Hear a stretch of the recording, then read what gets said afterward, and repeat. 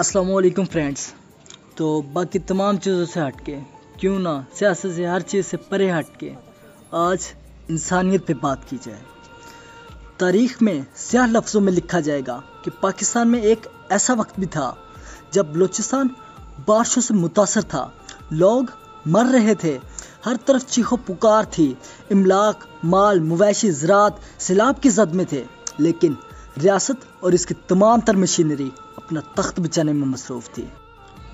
आप बस सियासत सियासत खेलें। हमारा क्या? हमारे बच्चे मर रहे हैं। हमारे घर गिर रहे हैं। हमारे मवैशी बह गए। हमारे जख्म देखने वाला कोई नहीं।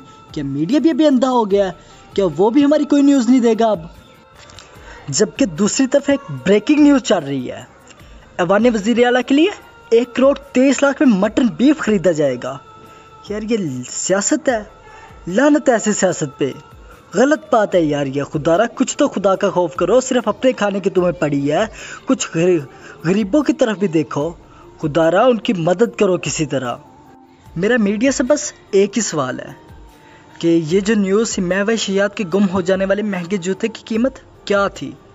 बहुत हाईलाइट किया था इसे, जियो न्यूज़ वालों ने ख़ास तौर पे।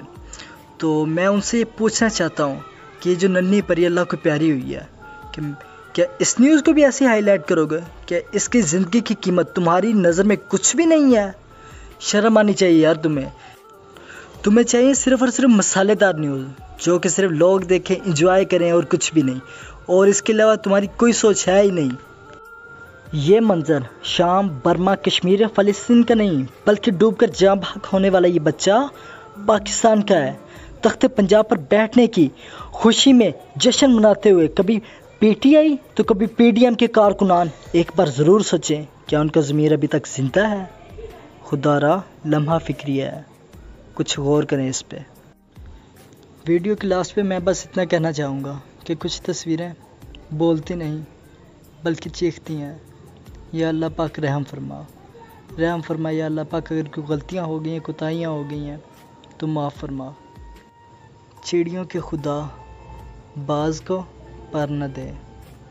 ऐ चिड़ियों के खुदा, बास को पर न दे। बारिश रोक ले, या गरीबों को कच्चे घर न दे।